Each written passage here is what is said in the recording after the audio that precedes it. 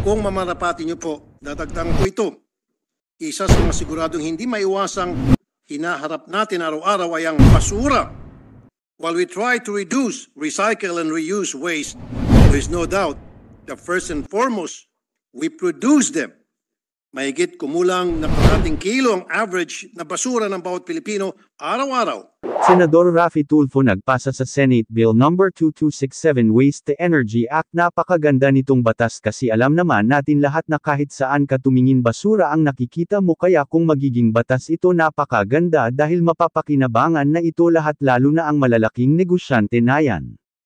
Kasama dito ni Senador Raffy Tulfo ang apat pa na Senador Migs Zubiri Francis Tolentino Bong Revilla at Win Gatchilian, Narito ang video panoorin natin ang paliwanag ng senador at kung hindi ka pa nakasubscribe mag-subscribe ka na dito sa ating channel Balita TV para palagi ka updated sa mga balita dahil iba na ang may alam. Mr. Energy himself, Senator Rafi Tulfo is recognized. Good afternoon, Mr. President, my esteemed colleagues. I'm honored to sponsor today Senate Bill number 2267 under Committee Report number 91 or the Waste to Energy Act. We always say there are only two sure things in this world. That is death and taxes. Kung mamarapati niyo po, dadagdagan ko ito. Isa sa mga siguradong hindi maiwasang hinaharap natin araw-araw ay ang basura. While we try to reduce, recycle, and reuse waste, there is no doubt that first and foremost, we produce them. Mahigit kumulang na kalahating kilo ang average na basura ng bawat Pilipino araw-araw. 15 kilos kada buwan at 180 kilos kada taon. With a population of over 100 million, the Philippines produce more than 21 million metric tons of trash each year.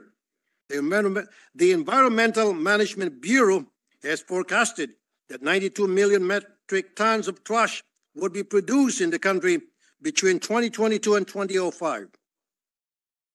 Currently, Sanitary landfill is the primary long-term method of solid waste disposal under RA 9003 or the Ecological Solid Waste Management Act of 2000. But sanitary landfill requires vast parcels of land to accommodate our ever-growing waste production. Unfortunately, land is limited, and it is not the picture-perfect solution to our garbage problem. In fact, it is a major source of pollution the most pressing environmental concern regarding landfill is the release of methane gas. As the organic mass in landfills decompose, methane gas is released. Methane absorbs the sun's heat approximately 80 times more than the carbon dioxide, making it one of the most potent greenhouse gases and a huge contributor to climate change. Also, the creation of landfill destroys natural habitats for wildlife. Hectares of land are taken from our wildlife just to accommodate our trash. Landfills also leak hazardous substances which contaminate nearby water sources. Mari po ito magdulot ng iba't ibang sakit sa atin. The pollutions from landfills pose a threat to the health of those who live and work nearby. A study in New York found that there is 12% increase risk of congenital malformations in children born to families living within a mile of hazardous landfill site because of the odor, smoke, noise, bugs, and water supply contamination.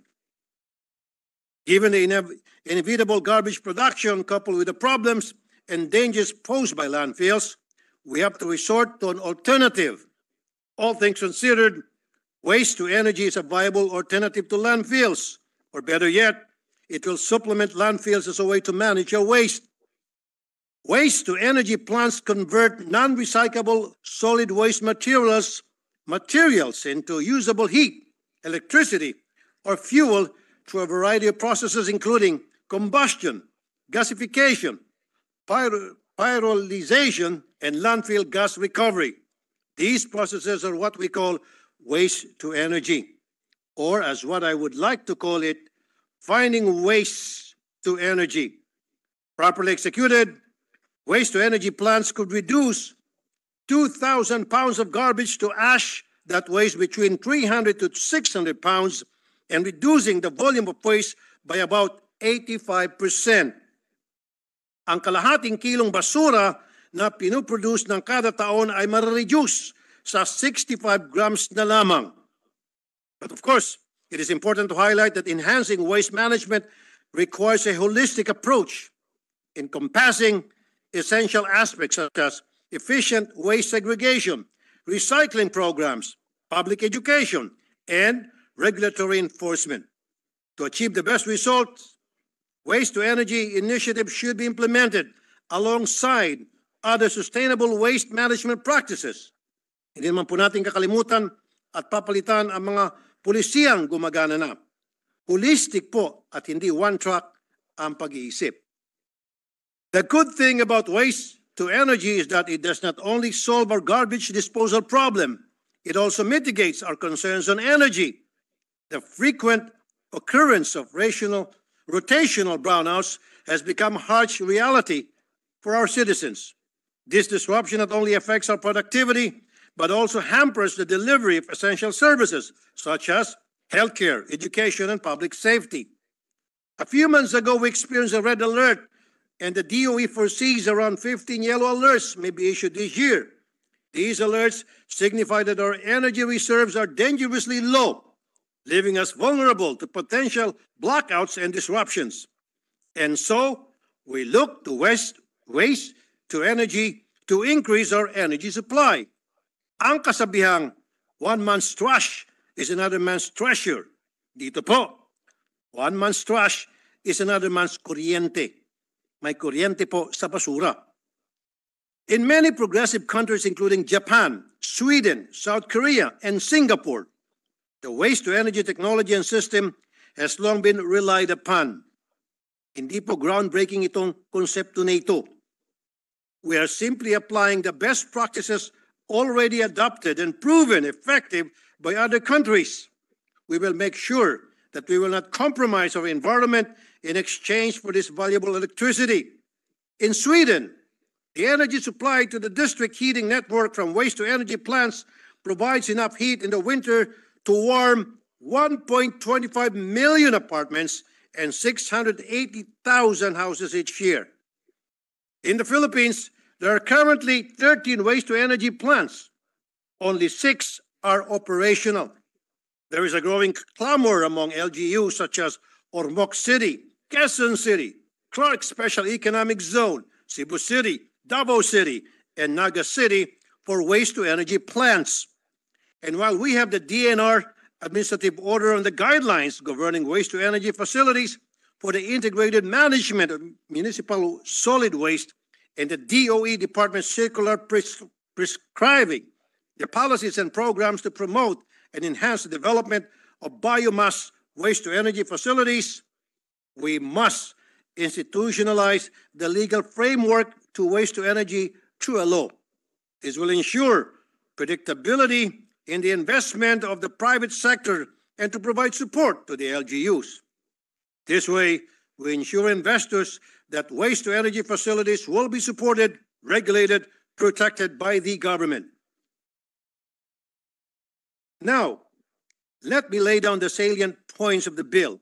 Number one, the bill is technology, technology neutral. This means it can accommodate not only the existing waste to energy technologies, but also future innovations in this field. This flexibility is crucial in a rapidly evolving technological landscape. The bill does not favor or exclude any specific waste to energy technology. The only requirement is that the waste to energy plants should not emit poisonous and toxic fumes into the environment.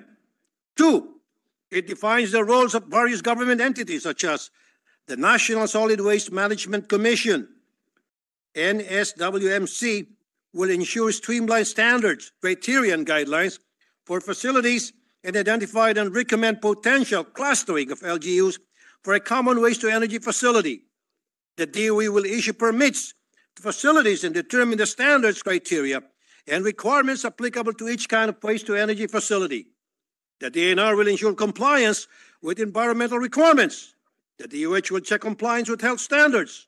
And the LGUs will provide logistical and operational support for the processing of waste to energy feedstock and enter into a clustering arrangement for a common waste to energy facility. Three, the bill mandates the inclusion of waste to energy strategy in the Philippine Energy Plan and every national, provincial, and local waste management framework. The inclusion marks a significant shift towards a more sustainable and diversified energy portfolio. It recognizes the immense potential of waste as a renewable energy source and positions waste to energy as a fundamental pillar of our national energy strategy. Number four, the bill authorizes LGUs to enter into clustering arrangements and public-private partners, partnerships, PPPs, for establishing waste-to-energy facilities and provides standards to determining processing fees of waste-to-energy facilities.